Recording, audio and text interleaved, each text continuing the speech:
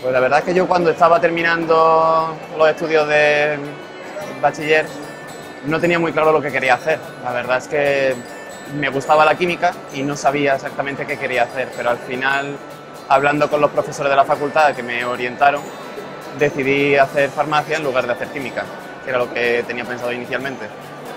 Porque mi madre es profesora, ya la he cubierto alguna que otra vez dando clases en el colegio, y resulta que la farmacia hospitalaria es una salida muy interesante que no conocía hasta quinto de carrera, pero realmente me decanté por farmacia porque ofrecían muchísimas salidas profesionales.